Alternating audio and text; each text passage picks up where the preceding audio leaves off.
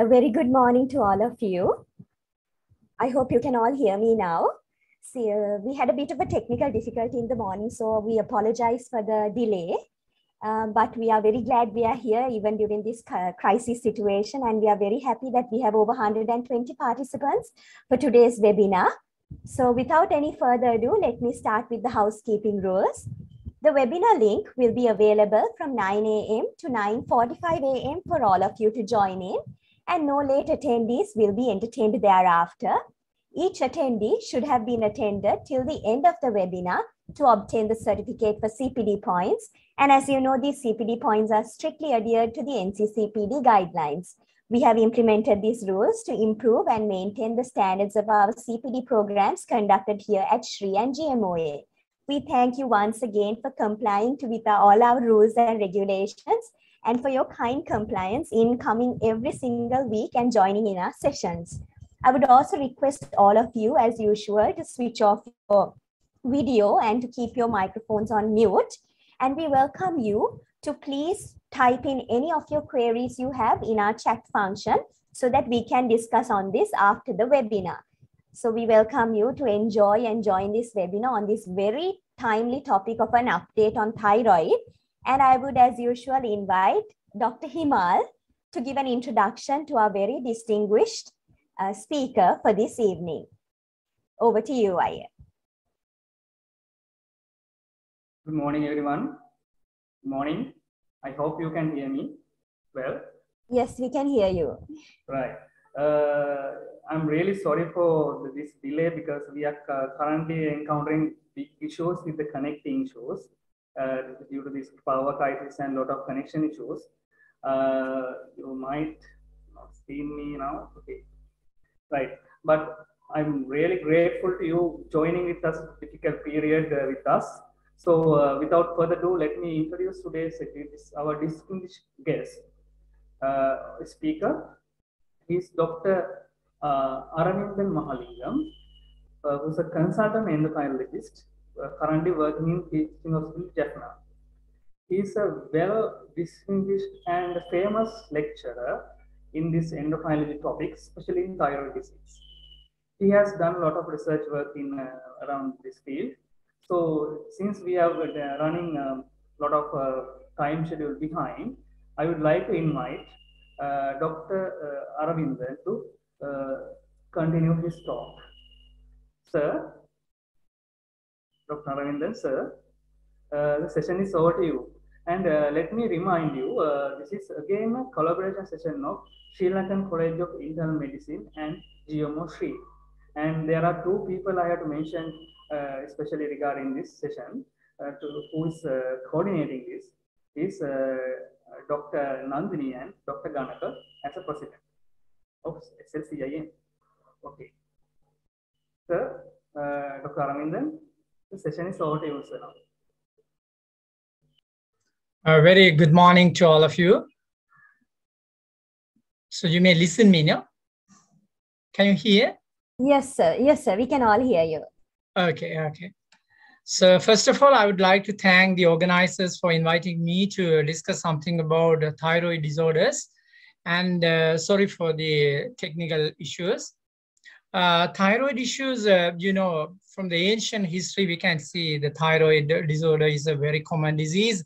And even in ancient sculpture and everything, you can see the first one to introduce uh, thyroid disorders uh, uh, to the world is uh, Leonardo da Vinci. He has mentioned in his portrait, we can see nicely the thyroid disorders even in Mona Lisa.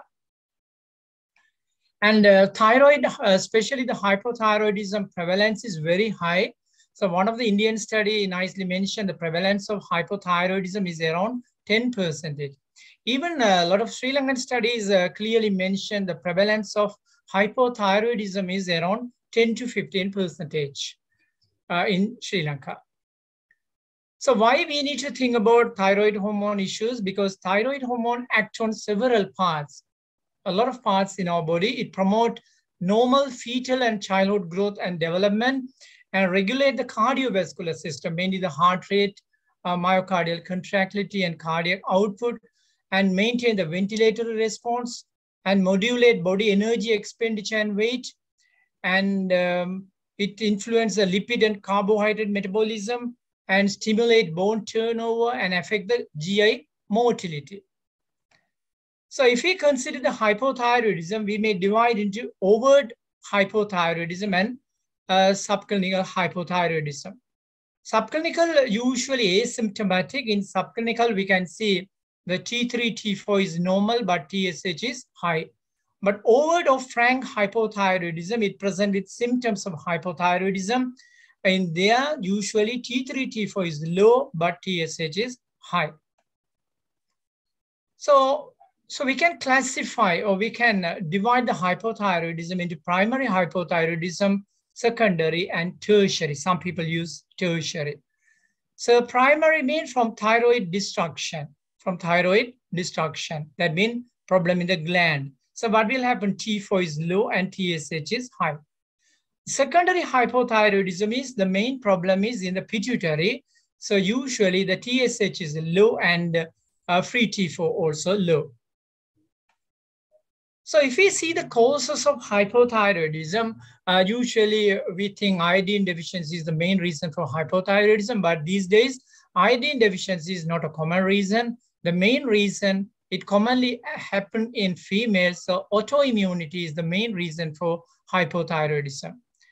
And damage and inflammation of the thyroid tissue may be thyroiditis and iatrogenic, the use of radioactive iodine or any surgeries and environmental factors and very rarely secondary causes like pituitary or hypothalamic causes can cause hypothyroidism.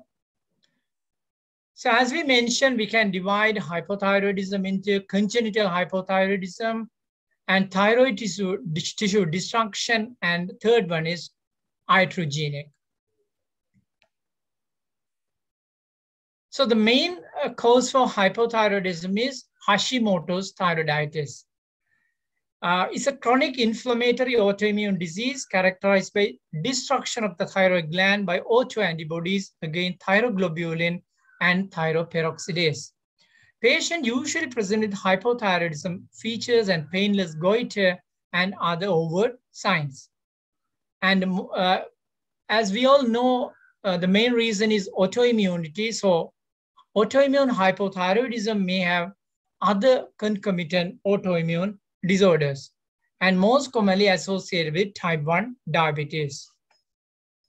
So when we see the clinical features of hypothyroidism, we all know it, it has wide spectrum of presentation, starting with the tiredness, forgetfulness, and depression, inability to concentrate, thinning of hair, and dry skin, weight gain, cold intolerance, and um, signs like puffy face, enlarged thyroid, hoarseness of voice, and difficulty in swallowing, and patient may present with heavy menstrual bleeding, and infertility or subfertility, and constipation, and muscle weakness. There are so many various presentation for hypothyroidism. So for the diagnosis of hypothyroidism, we need thyroid function test. Usually we do TSH with free T4. And TSH is high in primary hypothyroidism and free T4 is low in hypothyroidism. And uh, for the confirmation or find out the etiology, we can do antibodies like thyroid anti-TPO antibodies or thyroglobulin antibodies. And usually in autoimmune hypothyroidism, these are positive. So if uh, for this is just for the information, uh, we do TSH, depend on the TSH level, we go further. If TSH high, we need to do the free T4. If free T4 low, the diagnosis is hypothyroidism, that's primary hypothyroidism. In a patient TSH high, free T4 normal, then we need to consider it as subclinical hypothyroidism. So for the initial diagnosis of hypothyroidism, it's better to do both investigation together, TSH and free T4, because uh, then only we can say what type of hypothyroidism. For the monitoring, no need to do all these things. We can just monitor with TSH. So this is an algorithm how to interpret the thyroid function results. Um, you'll know uh, if TSH high and free T4 low, the diagnosis is primary hypothyroidism. And if both low, we can say secondary hypothyroidism. But there are some condition like sick euthyroid syndrome, it can present with normal things and abnormal one thyroid function result and subclinical disorders present uh, like, for example, subclinical hypothyroidism, TSH high but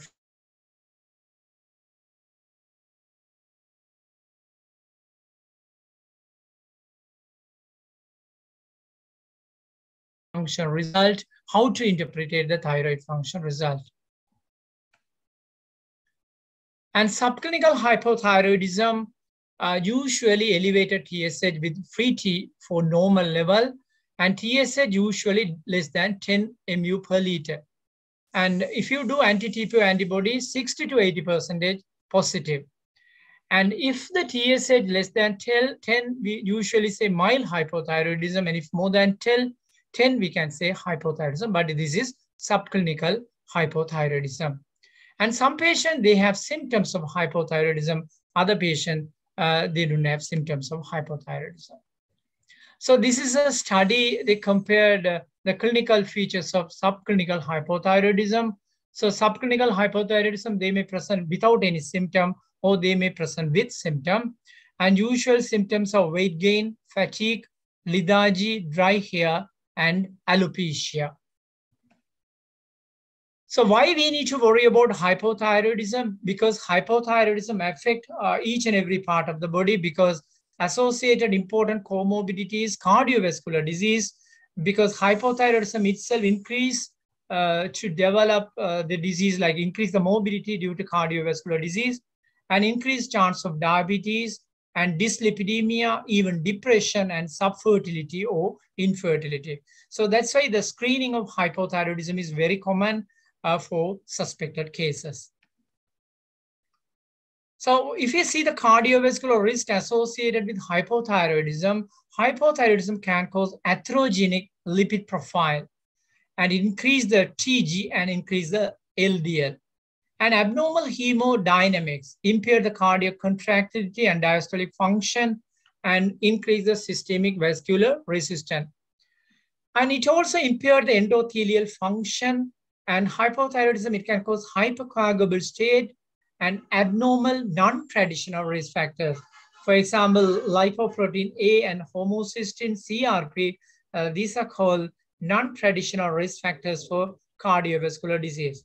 So hypothyroidism itself increase the cardiovascular risk by various means. So how to manage hypothyroidism? So whenever we diagnose hypothyroidism with clinical features and biochemical results, we need to treat. So these are the three, uh, these are the goals why we need to treat hypothyroidism. First one is normalize TSH level, level regardless of cause of hypothyroidism. So we need to normalize the thyroid function. Second treatment is thyroxine. There are so many guidelines. Even the Sri Lankan guideline is there for thyroid uh, management. And uh, we need to monitor the TSH level frequently, initially more frequently, then uh, depend on the patient clinical feature and biochemical result, we can monitor.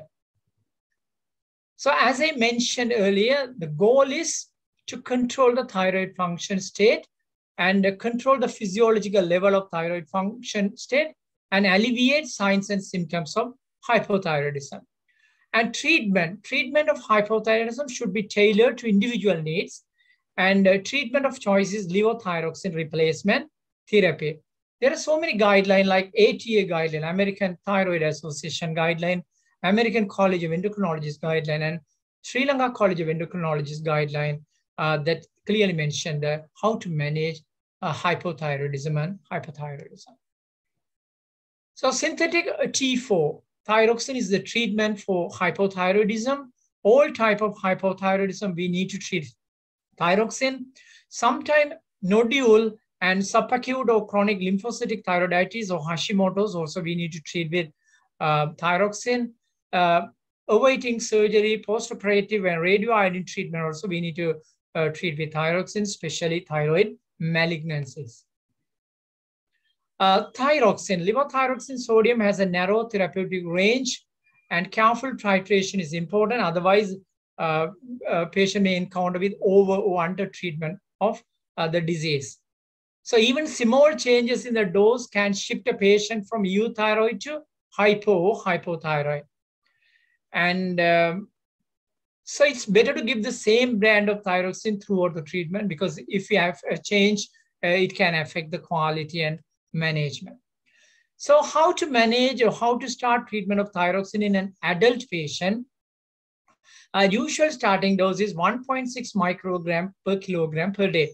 For example, a 60 kilogram patient, the dose is 100 microgram per day.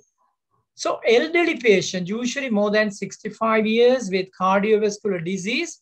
So we may start with small dose. For example, we can start 25 microgram per day and gradually increase to 50 and then depend on the weight, we can gradually increase by weeks. But young patient, less than 50 years, no cardiovascular mortality, no need to worry and no need to start with small dose. Straight away, you can start usual dose.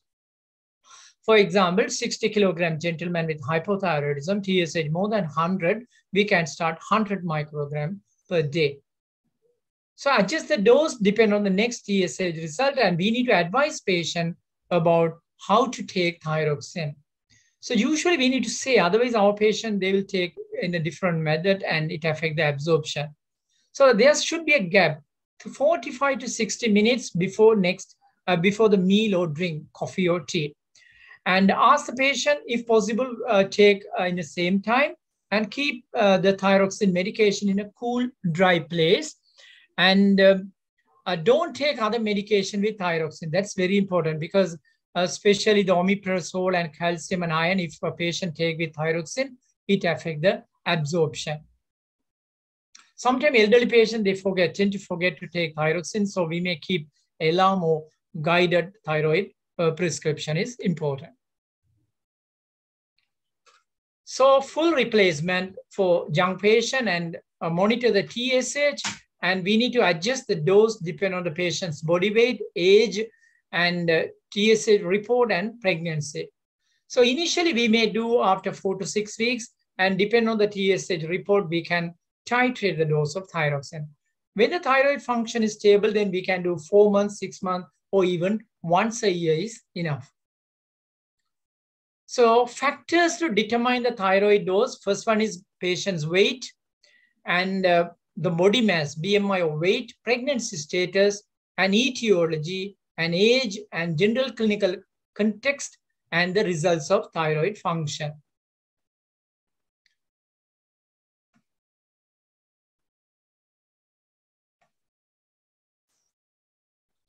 So subclinical hypothyroidism. So persistently elevated TSH, that means free T4 is within normal, but TSH is high. So TSH may be more than 10 or TSH may be more than 4.5, just above the TSH level. So first of all, we need to assess the symptoms and signs of hypothyroidism. Subclinical hypothyroidism also, they may present with symptom or without symptom. So there's a management guideline, how to manage a subclinical hypothyroidism. So we can divide into two categories. Mildly elevated TSH, that means the TSH level in between 4.5 to 10. The second one is markedly elevated TSH, that means more than 10. And uh, so if it is markedly elevated, that means the chance to go into overt hypothyroidism is very high. And markedly elevated TSH uh, patient need usually need treatment. Mildly elevated TSH, that means in between 4.5 to 10, so we may need to do antibodies like anti-TPO antibody, and there are special indication. For example, any female pregnant or any female planning pregnancy, subfertile, growing age need treatment. So why we need to worry about the diagnosis of subclinical hypothyroidism? Because subclinical hypothyroidism itself, the abnormal thyroid function alter the cardiac function, lipid profile, and possibly adverse cardiovascular outcome. And the progression to overt hypothyroidism is 5 percentage per year. So that's why we need to think about subclinical hypothyroidism. So in this graph, you can see how it changed subclinical hypothyroid patient to overt hypothyroidism. So this is a meta-analysis. They have compared alteration of lipid profile in subclinical hypothyroidism and uh, serum total cholesterol, LDL, and triglyceride level increase under subclinical hypothyroidism, and but no significant association with serum HDL level. And higher level of total cholesterol, LDL, and triglyceride level increase the risk of cardiovascular morbidity and mortality. So therefore, the cardiovascular status of subclinical hypothyroid patient or hypothyroid patient, we need to monitor carefully. That is one of the important message here. And this is one of the meta-analysis, seven randomized control trial clearly mentioned significant improvement in serum LDL was revealed with treatment of subclinical hypothyroidism and high level of plasma LDL level associated with occurrence of coronary artery disease. So thyroxine treatment reduce the risk of coronary artery disease. So here you can see again, in a subclinical hypothyroid patient, when TSH level more than 10, the hazard ratio for cardiovascular disease almost double. So we need to keep all these things in our mind. So there are so many guidelines they recommend when you need to treat subclinical hypothyroidism. So as I uh, mentioned earlier, if a patient with positive antibodies, evidence of atherosclerotic cardiovascular disease, heart failure, or patient planning pregnancy, preconception, growing age need to be treated.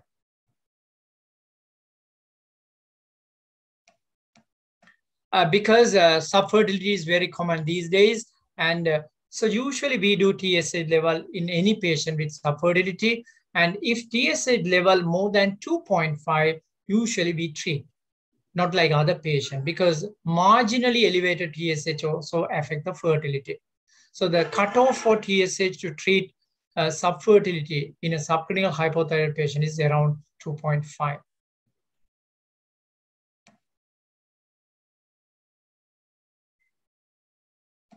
So then we'll move to pregnancy and hypothyroid uh, issues. That's very important. Here you can see the trimester specific ranges of uh, TSH.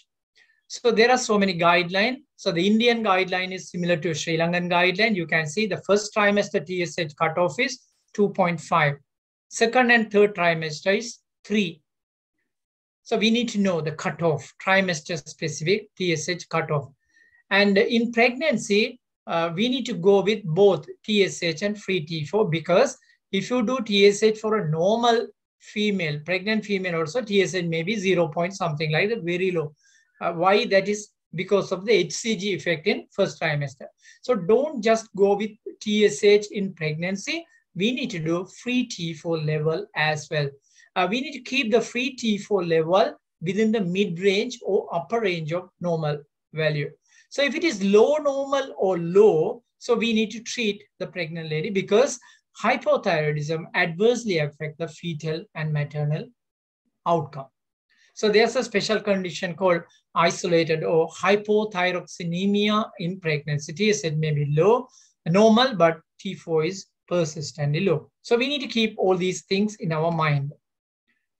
And uh, during pregnancy, TSH target is 2.5. If more than 2.5, we should treat the patient. And the regime is 1.6, around 1.6 microgram per kilogram per day. And monitoring, we need to monitor with TSH plus free T4 initially after one, one month or six weeks. And we need to keep the free T4 within the mid range or upper range. And TSH targets we know.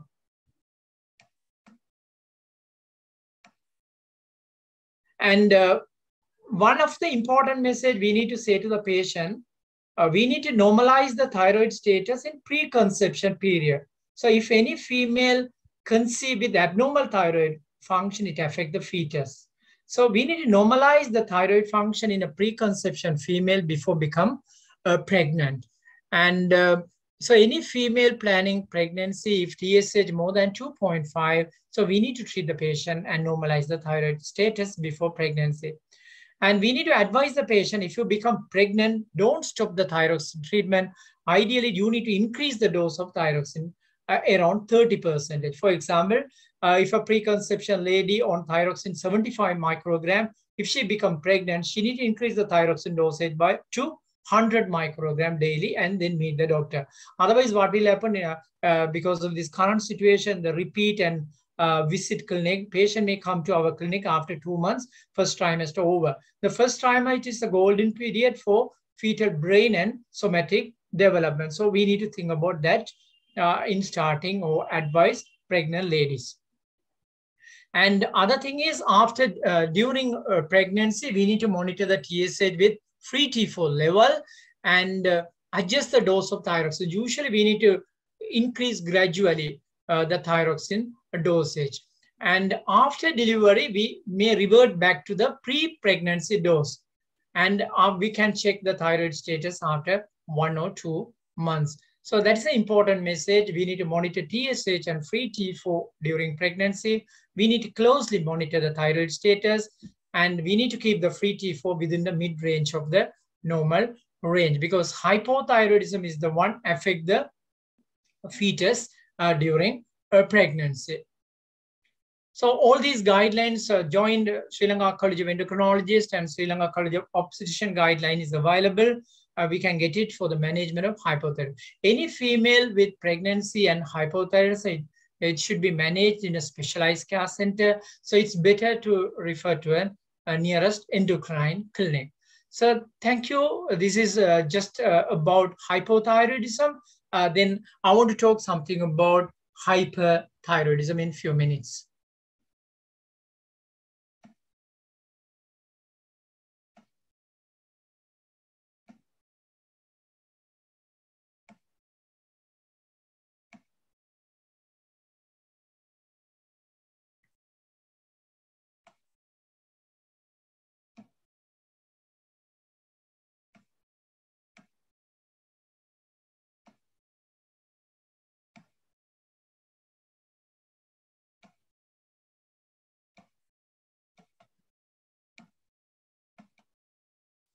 Can you see the slides? Yes, sir. We can see the slides. Okay, then we'll move to the management of thyrotoxicosis. And uh, uh, thyrotoxicosis management is a little bit difficult because we may encounter diagnostic challenges and management challenges and management challenges in special situation like pregnancy and children and crisis. And um, so thyrotoxicosis is uh, just opposite to hypothyroidism. Usually patient present with restlessness, fatigue, irritability, and weight loss, uh, altered bowel function like loose stool, heat intolerant, palpitation, and abnormal menstruation like uh, oligomenorrhea. And uh, thyrotoxicosis patient, Graves' disease, they may present with eye signs like exophthalmos or a lid lag, lid retraction, or chemosis. So the careful examination is important, including eye signs. Look for the thyroid goiter, whether it is a diffuse goiter or nodular goiter, uh, if nodule single or multiple nodule. And we need to check the cardiovascular system, including pulse, blood pressure, and uh, all the peripheral signs. And um, so for the, the uh, how to diagnose hyperthyroidism or thyrotoxicosis, we need to do TSH and free T4 level. So just opposite to primary hypothyroidism here, TSH is low and free T4 is high. In any patient with typical thyrotoxic symptom, TSH very low and free T4 high, the diagnosis is primary. That means problem in the gland, thyrotoxicosis. So if any patient symptomatic, typical symptom, TSH very low, but free T4 within normal range, we need to suspect two things. One is it may be T3 toxicosis or subclinical hypothyroidism. So any patient with thyrotoxic symptom, TSH low, free T4 normal, we need to do free T3. Then we can say free T3 high, T3 toxicosis. But if free T3 also within normal range but symptomatic, then we need to consider it as subclinical hypothyroidism. So what are the three important causes for thyrotoxicosis? The common causes are diffuse goiter, that is Graves, other one is solitary toxic nodule, and third one, toxic multinodular goiter. So other uncommon causes, thyroiditis, iatrogenic, drug-induced, and rare causes, thyroid secreting pituitary tumor like uh, TSHoma.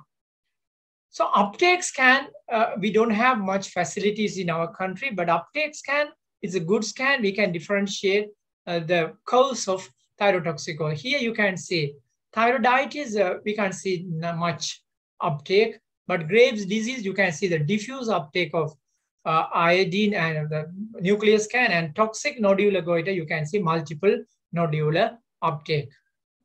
So these are the condition causing high uptake in nuclear scan called Graves' disease, toxic nodule, toxic multinodular goiter and other thing, and low uptake in thyroiditis and excess iodine exposure and exogenous thyroid hormone.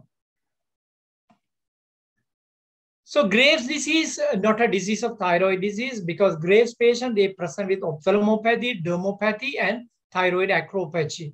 Dermopathy means skin changes. The main one is pretibial myxedema and thyroid acropathy is the nail changes like clubbing. So there's an antibody called TSH receptor antibody we can do. The antibody called TRAP antibody uh, because in euthyroid ophthalmopathy and pregnancy. For example, sometimes very difficult to distinguish or differentiate uh, thyrotoxicosis in pregnancy. So we may do TSH receptor antibody, atypical cases. And if you worry about fetal or neonatal thyroid dysfunction, we can do TSH receptor antibody, but it's not available in hospital setup and the cost is around more than 20,000. So we rarely do the TSH receptor antibodies. So when we consider the management of thyrotoxicosis, there are three options. One is medical management, other one is radioiodine treatment, and third one is surgery. So usual treatment regime for a diffuse goiter is 12 to 18 months or maximum two years. So usually the medical management is the one we are practicing in our country. And we usually treat the patient for 12 to 18 months or maximum two years. So usually well respond to medical treatment. Sometimes diffuse goiter also after two years also poor response to medical treatment. So those patients need to undergo definitive treatment.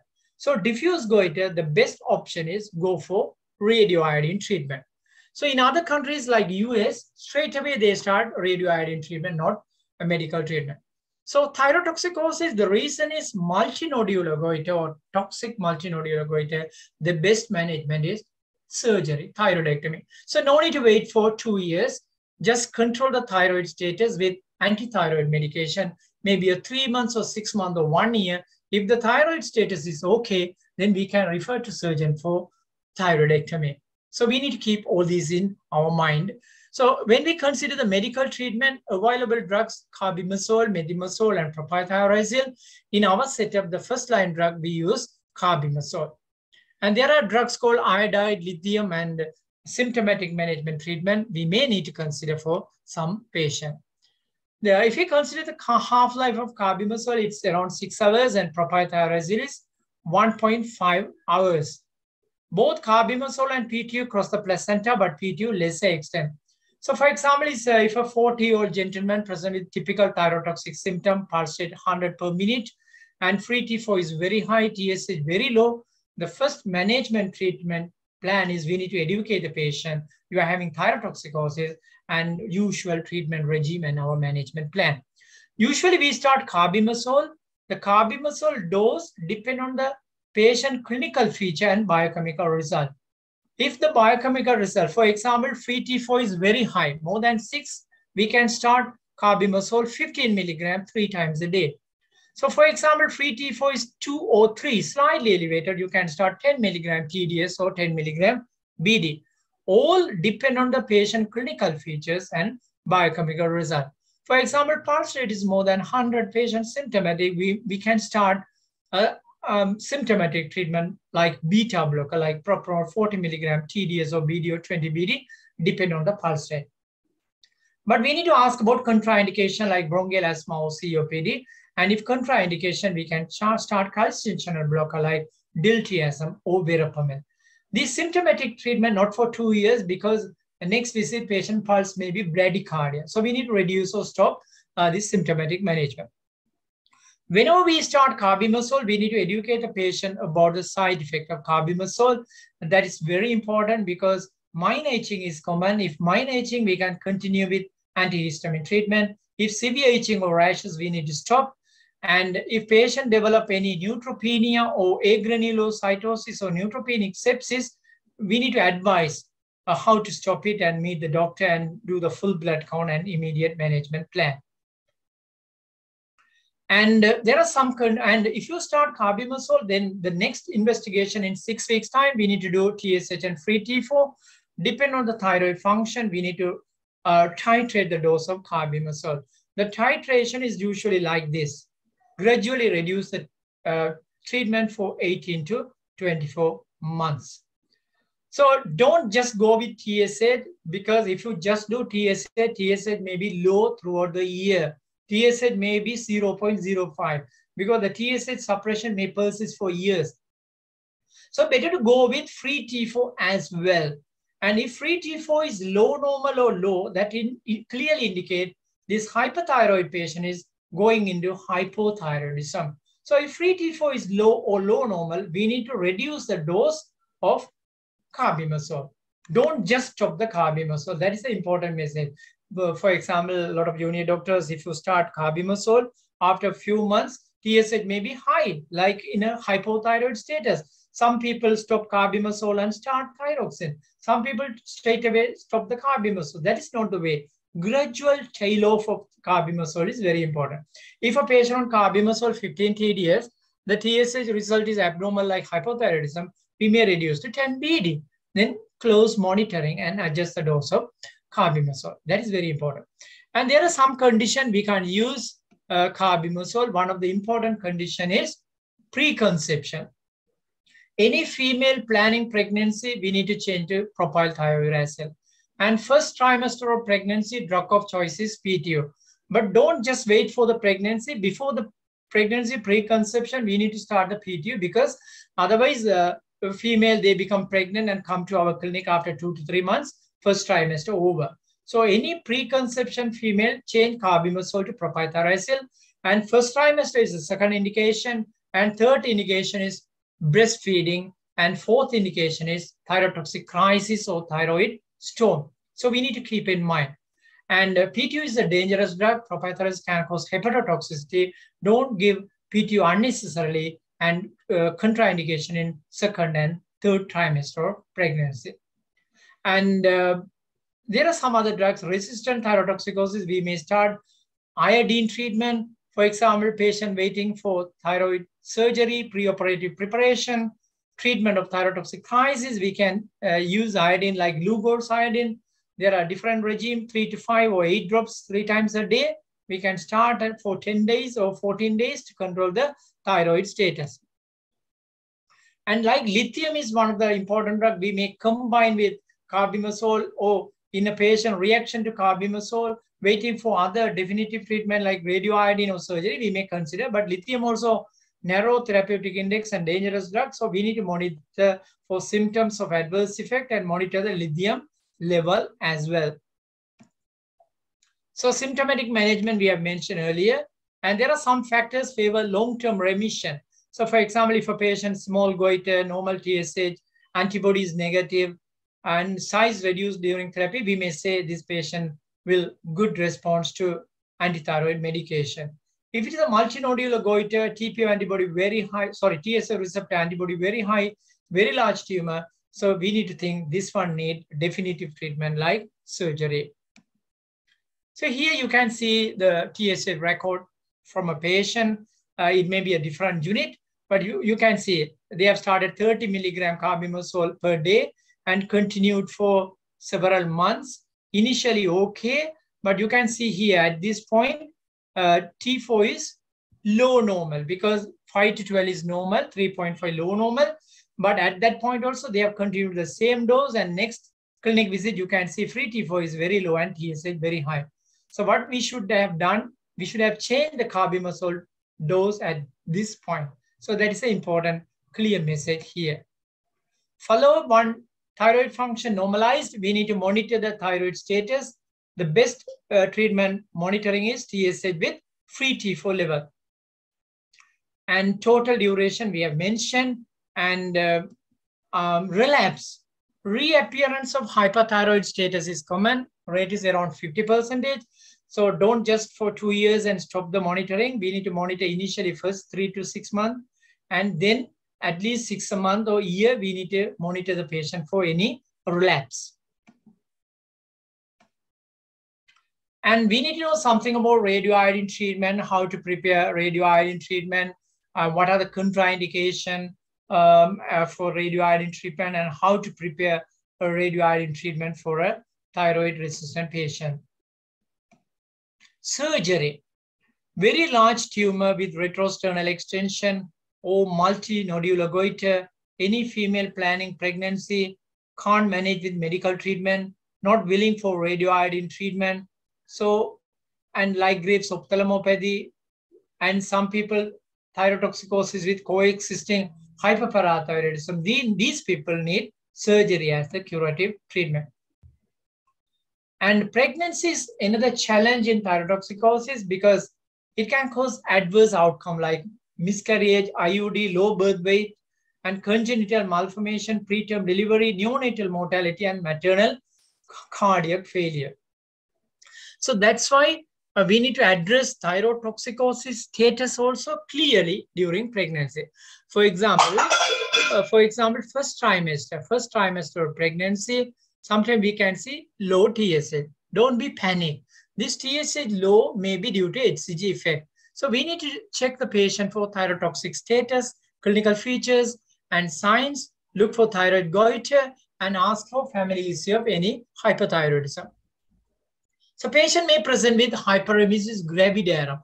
And if you do free T4, it may be slightly high. So no need to start thyroid medication at this point. You may manage symptomatically. Hyperemesis, IV fluid, and you may give antiemetics. And uh, depending on the pulse, you may give beta blocker or other drugs with VOG's advice. But we need to differentiate whether this is a transient gestational thyrotoxicosis or Graves' disease during pregnancy. It may be Graves. Patient may present with eye sign, thyroid goiter, and free T4 may be high. In that condition, we need to treat the patient with antithyroid medication. Keep in mind, first trimester, propyl thiouracil is the treatment of choice, and second and third trimester, carbimazole is the treatment of choice. So any patient with altered thyroid function during pregnancy should be referred to a specialized center. Better to refer to a nearest endocrine clinic because they need specialized care.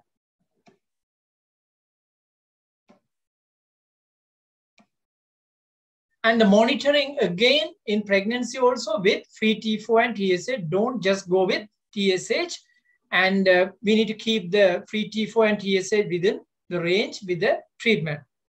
And TSH receptor antibody, there's a place, but uh, because of the poor facilities, we don't do it here. Ideal setup we need to do before pregnancy and again third trimester uh, because it predict the risk of neonatal toxicosis and postpartum recurrence. And we need to know something about how to change the PTU to carbimazole because carbimazole 10 milligram is equal to propyl thiouracil 100. So 10 is to 1 ratio. If you switch off or switch on to other drug, we need to know the ratio. And uh, very sad story, unfortunately, because of the current situation, most of the hospital, they don't have propyl. So we need to do something to get propyl and some hospital, even carbimazole not available. So untreated thyrotoxicosis or Graves' disease can cause fetal or neonatal hypothyroidism, fetal or neonatal hypothyroidism, and central hypothyroidism. So if you see the challenges in children and uh, inability to achieve revision, sometimes difficult to manage in children, and long-term treatment may be uh, necessary. And abnormal thyroid function has an impact on growth and maturity. And we have concern about long-term treatment like radioiodine and surgery. So management in children is uh, different. So the next uh, thing we need to know something about thyroid nodule. If any patient come with nodule, we need to be careful. That's why the scan is important, especially the female. If any nodule, we need to arrange ultrasound and ultrasound guided FNAC. Why that is important? Because thyroid malignancy is very common. Papillary carcinoma is very common and treatable. Not like other malignancies. Thyroid malignancy, the prognosis is good and the chance to die or the mortality rate is very minimal. So early diagnosis of thyroid malignancy is important. You all know a differentiated and undifferentiated carcinoma. Papillary carcinoma is the commonest one and then follicular, there are medullary carcinoma and Anaplastic carcinoma is the dangerous one. So if any carcinoma patient, we need to have a multidisciplinary approach with uh, endocrinologist or physician, with surgeon and uh, oncologist. And uh, so any nodule malignancy, they need to undergo surgery. Uh, any suspicious case, for example, intermediate, for example, there's a classification system called Bethesda, Thy 1, 2, 3, like 5. If it is Thy 3 or follicular proliferation, we need to refer to a surgeon. If Thy 4 or Bethesda 4 or 5, they need definitive treatment like total thyroidectomy. After thyroidectomy also, we need to refer to oncologist and we need to keep TSH in a very low, minimal. TSH suppression is important to prevent recurrence. We need to monitor the patient closely with thyroid ultrasound and thyroglobulin and with antibody. So we need to keep the thyroglobulin less than two and depend on the case and TSH suppression is very important. And uh, that's all about uh, thyroid disorders. We I think we have covered uh, the main diseases like hypothyroidism and hypothyroidism during pregnancy, thyrotoxicosis, thyrotoxicosis during pregnancy, and, and nodules, and something about uh, thyroid uh, malignancies. So again, I would like to thank the organizers for inviting me to uh, discuss something about thyroid uptake in this prestigious day. Uh, thank you very much, sir. We have received some questions and we need your clarification. So getting straight to the questions, sir. Okay. Uh, the, the, first question is, um, the audience want to know, uh, since the thyroid profile contains T3 and T4, which is specific for hyperthyroidism? So hyperthyroidism also, usually we do TSH and free T4. If TSH is very low, free T4 is high, the diagnosis is hyperthyroidism, no need to worry. But the thing is, the TSH low and free T4 normal, then we can do free T3, then we can say this is T3 toxicosis. So for example, in hospital setup, most of the time we don't have T3. So we go with T4 and TSH. Uh, next question, sir. How do we differentiate sick euthyroid patient and a hypopituitarism patient? So usually hypopituitarism, the TSH is low and free T4 is low. But in sick, the thing is different. For example, TSH, see here both low, but in sick, tier one is low and other one is normal. So that's, and we can ask the history, recent history of fever or infection, and then we can repeat the investigation after some time and we can differentiate whether it is due to sick euthyroid or pituitary secondary cause. This is a very timely question, sir. In the primary care setting, since with the current situation of the country, with the history and examination suggestive of a hypothyroid patient, do we still need to do both TSH and free T4 before we start treatment? So ideally, because of the current situation, we may just do TSH. For example, if a typical hypothyroid patient, TSH is very high, that means more than 10 or 20 or something like that. So no need to do free T4 because we know the diagnosis, this is primary hypothyroid. So we may do like that. Our audience want to know, sir, the, the relationship between hypothyroidism and anemia. Uh, hyper or hypo? Hyper. So usually hypothyroidism is anemia, very common because hypothyroidism is one of the reasons for macrocytic anemia. And hypothyroid female, they usually present with menorrhagia and they may present with anemia, iron deficiency anemia. And the other thing, all these thyroid disorders, even hypo, hyperthyroidism, autoimmunity is the main reason. So they may present with other autoimmune disorders. They may have pernicious anemia. So the association with anemia is common it happens in both hyperthyroidism and hypothyroidism. Uh, in a clinical setting, if an elderly patient who is already treated for hypothyroidism, uh, if we repeat the investigations and it shows subclinical hypothyroidism without any symptoms, how does the management change and what is the place for antibodies in this patient? So elderly patient already diagnosed hypothyroidism or subclinical hypothyroid, hypothyroidism? Hypothyroidism. So now presenting with repeated investigations showing subclinical hypothyroidism without so symptoms. Means, that means this patient already diagnosed hypothyroidism with treatment. Yes. Now, now like subclinical hypothyroidism, no? Yes. So then we need to treat or we need to continue the treatment. But uh, just forget about hypothyroidism. This is a subclinical hypothyroidism, elderly patient. So if TSH less than 10, patient is asymptomatic, no need to worry. We need to just monitor the thyroid function, TSH. Uh, if TSH more than 10, and we can do antibodies, and if antibody is positive, uh, it, the management decision is individualized. If more than 10 with antibody positive, we may start small dose of thyroxine. If less than 10, so we need to go with antibody and design. But young patients, especially pre-conception, planning pregnancy, pregnant female, and growing age, we need to treat aggressively. We need to treat subclinical hypothyroidism. Another clinical scenario, sir. Uh, if a patient presents to us with a swinging TSH level, um, what is the optimum TSH level to start thyroxine if the patient doesn't have any symptoms? That means we have mentioned like subclinical hypothyroidism, if more than 10, so usually we need to treat. If less than 10, there are so many options. We can do antibodies. If antibody positive, you may treat. If negative, you need to wait. But there are special conditions, as I have mentioned, preconception, pregnancy, and young age, growing age, because it affects the height, so we need to treat. And next question, sir. This is a statement. Uh, is reduced TSH level in 2.5% in a normal population normally. Is this a correct statement? Please tell Redu again. 2.5% uh, of the population has reduced TSH level. Yeah, it may be correct, no, because the, this abnormal thyroid, because are, these days a lot of people do thyroid function as a screening and those things, and sometimes we overdiagnose. So uh, that's why without symptoms, uh, if you do un unnecessary thyroid function, we are in a trouble. And we need to be careful. If you have any doubt, do the free T4 as well before starting any treatment. Next question, sir. Is obesity also an indication to treat subclinical hypothyroidism? So there are no hard and fast indication to treat obesity, but in our practice, sometimes young patient with obesity and subclinical hypothyroidism. Anyway, young patient we treat no if uh, TSH is high because uh, subclinical hypothyroidism, there's a clear indication. For the weight loss also, we can start thyroxine. Next question, sir. In uh, de Quervain thyroiditis, why does the dose uptake scan show suppression? Why does the? Uh, dose uptake scan show suppression, in, even though they are hyperthyroid.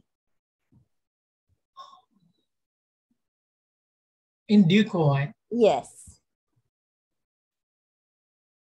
So usually um, uh, it depends on the uptake and thyroglobulin level. Sometimes uh, different thyroiditis, different different uptake. And um, so, for example, there are different renal thyroiditis like fibrosis, and uh, there are thyroiditis like dopamine. And uh, most of the time, dopamine, as you have mentioned, the uptake is low. But uh, but that condition also so I, I would check it and let you know. Um, next question, sir. Do we need to do a baseline full blood count and liver function tests before starting anti-thyroid drugs? So it's better to do because sometimes if any abnormalities in the count or abnormalities in the liver function, and if you start treatment and if you monitor with altered things, we don't have any idea. So it's better to have a baseline full blood count and LFT before starting treatment. Then only we can say what is the abnormality. But uh, routine monitoring of full blood count and LFT is not recommended in the management of thyrotoxic. If patient develop any symptoms or signs, only we need to do the liver function of full blood count. So you mentioned about uh, switching between carbimazole and PTU in pregnant uh, patients. Mm. Our audience wants to know about the efficacy between carbimazole and PTU in a pregnant and a non-pregnant mother? So usually the uh, efficacy is not a problem here because why we switch is the side effect and we need to consider about the teratogenicity. That's why we change PTU and PTU is the drug, drug of choice in first trimester, but we don't give in second and third because uh, uh, dangerous side effect is hepatotoxicity. So the, the main issue is the safety measures here. Um, our audience also wants to know, sir, in Graves' disease, is the T3 always high? Not always. Not always. We need to do free T4. Sometimes free T4 is very high, sometimes both high, sometimes T3 is high. Um, so you also mentioned about keeping our thyroid gland suppressed during a CA diagnosis Yeah. patient. Our audience want to know what is the lower cutoff to maintain the suppression. So there are different cutoff. We need to classify the carcinoma. For example, papillary carcinoma also mild, moderate, severe, and depend on the metastasis and other thing. There's a TSH suppression level 0.1. There's a so there's a chart is there. So if some people need, we need to keep the TSH around 0.1. Some patient with severe disease less than 0.1. So the TSH suppression is important to prevent the recurrence. And uh, so that's why we need to do both TSH and free T4, or we may keep the free T4 in the upper normal or middle range. But we need to keep in mind TSH suppression and thyroglobulin also around 0.1 or less than 0.1, depend on the patient clinical status. Another question concerning Graves' eye disease, sir. Uh, the audience want to know the place of usage of selenium. So in other countries, people use selenium, but uh, no large scale randomized controlled trial to say the selenium is uh, superior or selenium is beneficial, but we need to have low, more, more and more studies. But the main thing is uh, uh, Graves orbitopathy, the control of thyroid status. We need to keep the patient euthyroid and we need to use some general measures, closing the eyes and avoid uh, these things and cover the eyes and uh, in, depend on the severity. There's a classifying scale called EUGOGO. Uh, it, the scoring system is up to seven. We can download in the Google. And if it is more than three, we can say severe uh, Graves orbitopathy. So then we need to treat with steroids, depend on the severity, oral steroid or IV steroid with gradual titration or dose reduction. Another clinical scenario, sir. An elderly patient with dyslipidemia and subclinical hypothyroidism. What should be our mainstay of treatment? So anyway, subclinical hypothyroidism is one of the reasons for dyslipidemia and uh, the dyslipidemia may, may be another issue. So we need to balance both things and uh, uh, we need to treat. We need to start statin, depend on the lipid profile, LDL and triglyceride and total cholesterol cutoff. And uh, if any indication to treat subclinical hypothyroidism, we need to treat. Otherwise, we can monitor. Next question, sir. Uh, the place of cardiac arrhythmias that occurs in thyroid disorders. So, the, for example, in thyrotoxicosis, untreated thyrotoxicosis, they may present with abnormal arrhythmias, especially atrial fibrillation. Their first presentation may be AF with cardiac failure. So that's why the diagnosis, early diagnosis is important. They may present with anything like SVT or anything. So that's why they may present with thyrotoxic crisis storm. That storm condition also the monitoring, monitoring of the cardiac rhythm is very important and appropriate management we need to do. Um, next question is also on management, sir. Our audience want to know to an outline management of myxedematomous uh, coma. Uh, myxedema coma, anyway, that uh, general principles like ABs, airway, breathing, circulation, admit the patient ETU and put IV fluid and um, uh, general measures important. Uh, IV fluids and gradual rewarming is important. Patient present with hypothermia. And uh, other important thing is uh, we need to give thyroxine. Patient thyroid myxedema coma. No? So patient may present with unconscious or semi-conscious. So we can't just give oral thyroxine. We can put an NG. We don't have IV thyroxine in Sri Lanka. We can give loading dose like 300 microgram or something like the loading dose. And then daily we can give 150 or 100 or 200 depending on the patient weight and biochemical result. The general and supportive measures important. And we may need to start IV hydrocortisone. Usually we start because associated uh, steroid deficiency or cortisol deficiency may be common. And we need to treat uh, any electrolyte abnormalities like hyponatremia and antibiotics may be needed for any infection. So um, we want to know uh, for you to explain to our audience the instances when we need to refer these thyroid diseases to an endocrinologist and a specialized unit. So one of the important thing is hypothyroidism can be managed in any primary care center. They need to go to a tertiary care center or secondary care center once in six months or once a year. And thyrotoxicosis anyway should be managed in a secondary or tertiary care. They need to be managed in a medical clinic or endocrine clinic. And if possible, thyrotoxicosis, better to refer to endocrine clinic. And other thing is, any thyroid diseases in pregnancy, it may be hypothyroidism or thyrotoxicosis, it's better to refer to endocrine clinic. A lot of our questions are concerning uh, patients who are um, awaiting pregnancy and who are pregnant. So can you, will you be able to highlight again uh, the ranges of TSH and T4 or the uh, starting point of when if okay, a patient okay. is awaiting pregnancy? Okay. And the thing is, I want to highlight the subfertility is very common these days. And uh, there are so many subfertile female uninvestigated. Uh, for example, two days back, I have seen a patient subfertile for five years, her TSH is 10. The simple measure is just treat with thyroxine, subfertile for five years. So the pregnancy preconception TSH target is less than 2.5.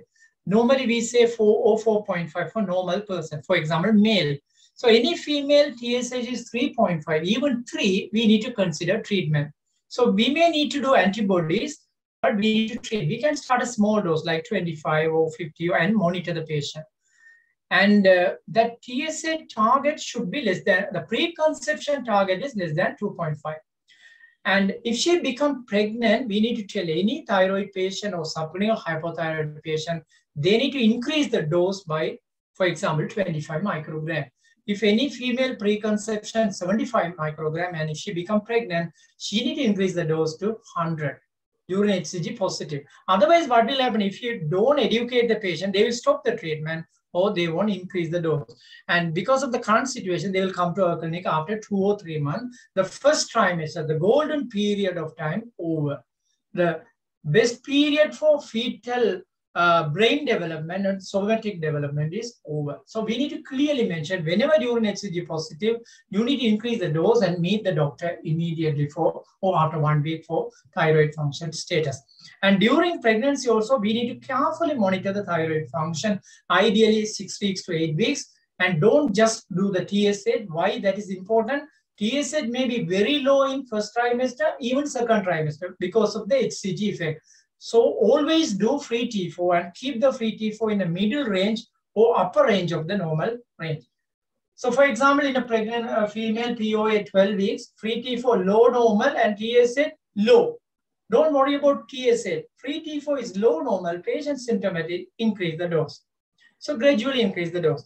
And after delivery, you may reduce to preconception or pre-pregnancy thyroxine dose.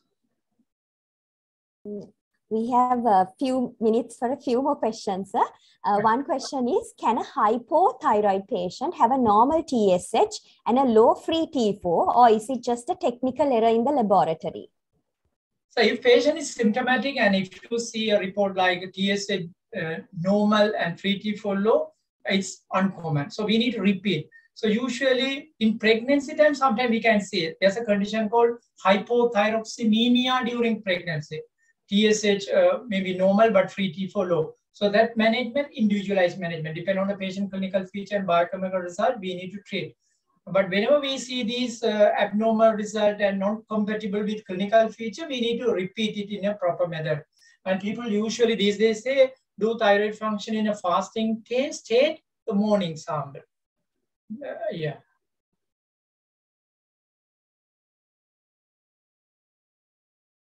Time for one final question. Uh, with the with the current crisis and the shortage of drugs, how are we going to manage patients who are presenting with symptoms of hyperthyroidism or hypothyroidism? So most of the time, hypothyroidism we can manage easily because thyroxine is available. But the problem with anti-thyroid medication, for the last few months, propylthiouracil not available, even in tertiary care center. We recently we have got, and even in outside pharmacies we can't get. And carbimazole also very difficult. So we don't know how to manage during first trimester and preconception. So I think uh, the powerful institutions and organizations should emphasize this issue to the government, the importance of this important medication. This is a life-saving medication. Um, so this is another question. I think, sir, you have explained about this. Uh, in hyperthyroidism with pregnancy, what is the best time to convert from carbamazepine to propylthiouracil? So uh, that's preconception. For example, if a female planning pregnancy, don't start carbimazole. Why that is important? If you start carbimazole and if she become pregnant, she'll come to your clinic after one or two months. The first trimester part is over. So any female fertile age group, not on any contraception or not on any long-term contraception, no LRT, better to start propylthiouracil and clearly inform about the side effect. And uh, whenever she become pregnant, throughout first trimester, continue PTU. And when first trimester over, change to carbimazole.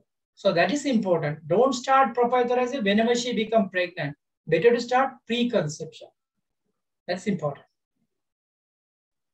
So I think we have only time for that much of questions. Okay. I want to express my sincere thanks and gratitude uh, to Dr. Aravinthan Mahalingam, the consultant endocrinologist attached to Teaching Hospital Jaffna for this very concise and extensive lecture on thyroid disorders. Uh, thank you for sharing your Sunday and your precious time with all of us. And our audience, thank you for being interactive. Please sending any other questions you all have to through to, to us so that we can forward it to Sir and uh, get, get back to you with our answers. Uh, we hope you all have a very productive and very stress-free week with this current situation. And uh, please find the link in our chat box uh, to fill in the post-assessment questions uh, to receive your e-certificate following this webinar. And we invite you again to join us next Sunday with another very interactive and timely topic in our SHRI webinar series. We like to extend our special gratitude to the College of Internal Medicine to, for joining with us again this week and arranging this very informative and timely lecture. Thank you very much, sir. Thank you, everyone. Thank you. Thank you, everyone.